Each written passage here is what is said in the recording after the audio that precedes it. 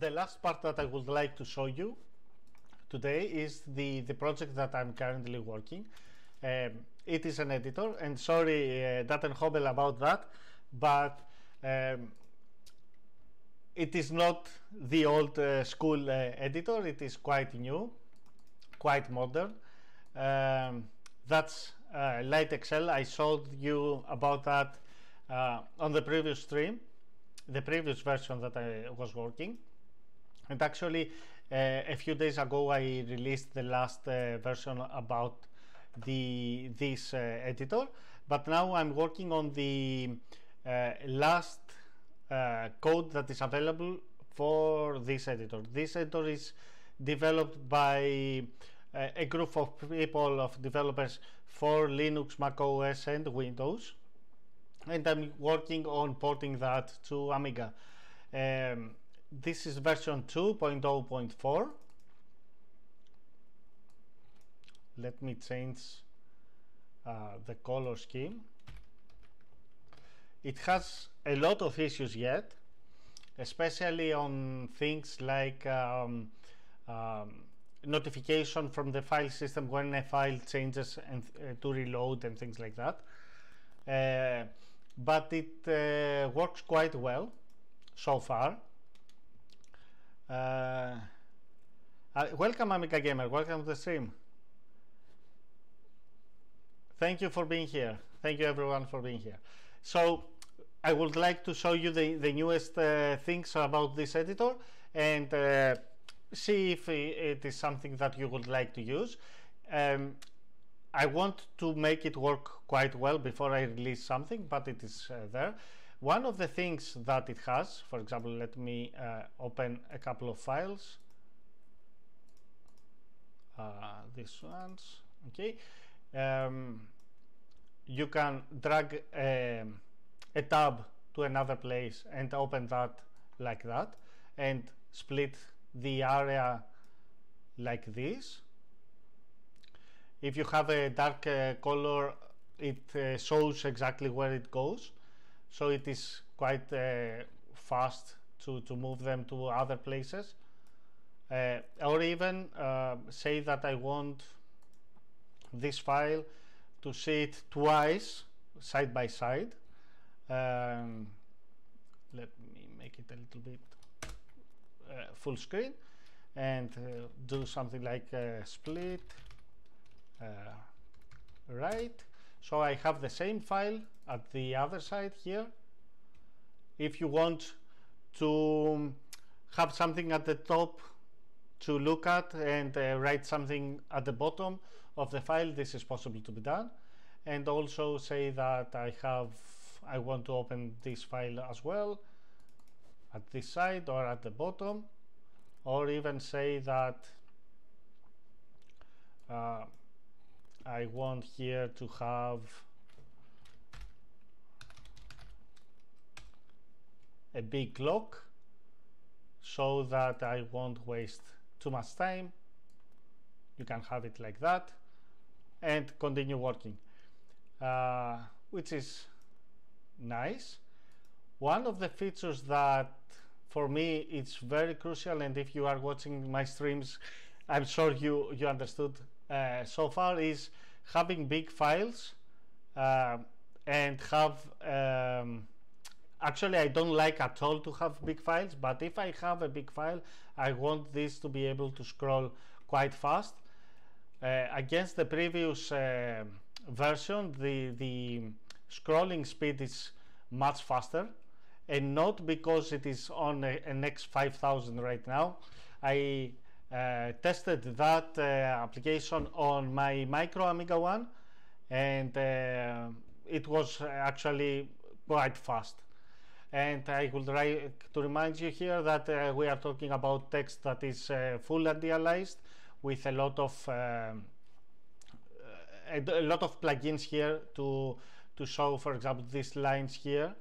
Um, are added by plugins to show the depth of the um, the tabs or to have different colors on the uh, curly brackets or the brackets so to understand where it opens and closes um, it's it's there Uh, the other um, quite useful that a few of you uh, requested on the previous version of uh, Lite XL is to have multiple um, cursors. So if you are sorry, if you are uh, here and you click shift and the cursor down, you select something. But if you click, uh, where is it? No, no. Sorry, I ruined everything. Okay. Yeah, if you click shift and control, you create multiple um, cursors and you can write something on multiple places. Uh, if you don't want to do it, you also have the option to select something and this is uh, all the similar uh, words are uh, marked but if you click click uh, control and D you create multiple uh, cursors on all these places so you can find for example the name of a specific variable and you want to change something uh, add an underscore uh, and say sorry uh, new uh, var name underscore name. You can do it uh, like that which is quite quite useful if you want to change things like that. Some people might prefer to go to select and replace everything. Okay uh, that's also a good way to do it.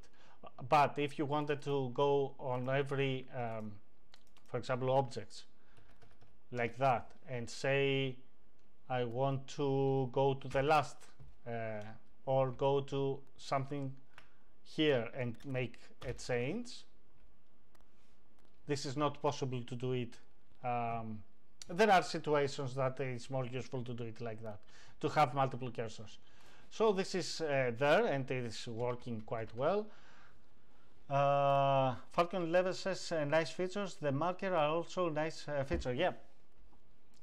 There are a lot of things that it has uh, that uh, we miss from the editors that we have in our um, in Amiga OS 4 and Amiga OS 3 um, as I said, the, the scroll speed is quite faster than the previous. There are a, a few problems uh, which I'm trying to, to uh, fix. Uh, I would like to remind you that this uh, editor is uh, based on uh, SDL and Lua. The Lua code that is included, let me show you. Um, change project. And let me go to the editor. The Lua uh, code is plain text files. Okay so uh, someone who knows how to program in this language he can change the way that uh, the editor actually works. Thank you for being here Opie. Have a great weekend. Thank you so you can uh, experiment if you want how to uh, how some things are working on the uh, editor and change the way that uh, that way uh, from the Lua uh, scripts. And um, that's that's quite quite fast. Um, this editor is still on development of course. And the good thing is that it is developed for other operating systems so it has a good um, support. And um, yeah I think that uh, when I saw the the uh, difference on the speed and uh, that I was uh, able to use it on my micro Amiga one quite well I was surprised. So yeah I wanted to, to share that with you. And it has a lot of other features as well which I hope that soon I'm going to be able to uh, make a release and uh, see you uh, what you think about it. Uh,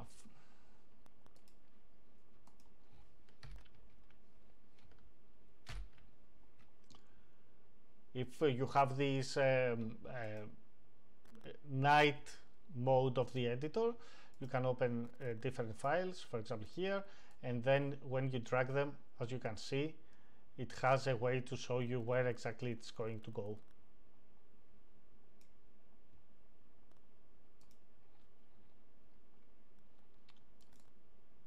Like that.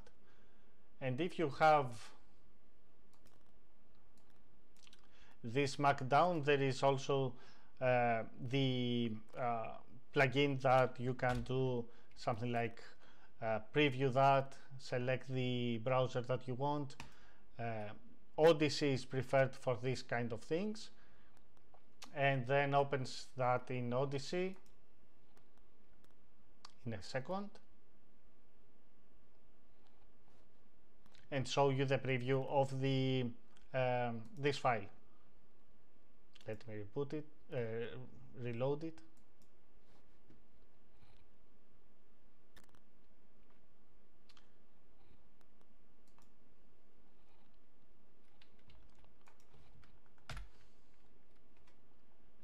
okay? And here you have the preview of the changes that you uh, are doing in the editor. For example test here save preview and you see here the the uh, changes. Uh, Falcon 11 says I will try on Amiga PPC uh, Classic. Yep it will be it will be quite a, uh, a test. I would like to see how it works there Falcon. I would like to see. Of course for um, low-end machines and I'm not saying that the classic is a low end not at all. Uh, for low-end machines it is preferred to use the the rest of the editors that we have available uh, for example the cubic IDE that I showed you earlier uh, the, on the previous uh, stream or the Cygnus editor actually I would like to show you uh, that's one thing that it makes sense to, to see. Let me open the init Lua here and before we see that to see a little bit the the differences on scrolling speed if you allow me. Let me refresh. Okay I will open the core Lua init Lua here and I will open the same file on uh, Cubic IDE this is here. Data core. On Cygnus editor and Cubic IDE okay for the Cubic IDE it doesn't have color syntaxing because it doesn't understand Lua but it doesn't matter. For now. So this uh, code is 1384 uh, lines. Okay.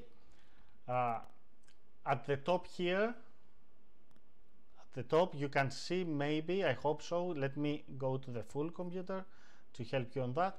You can see the CPU uh, usage. Let me make it also here. Okay.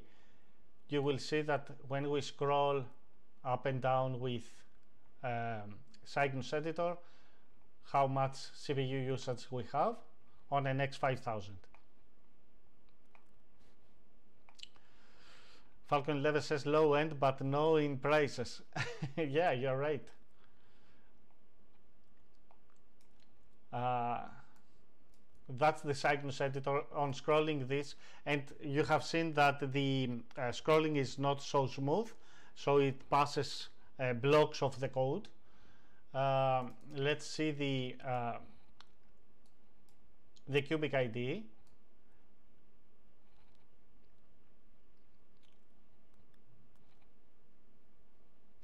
cubic IDE uh, uses less uh, CPU than the Cygnus editor.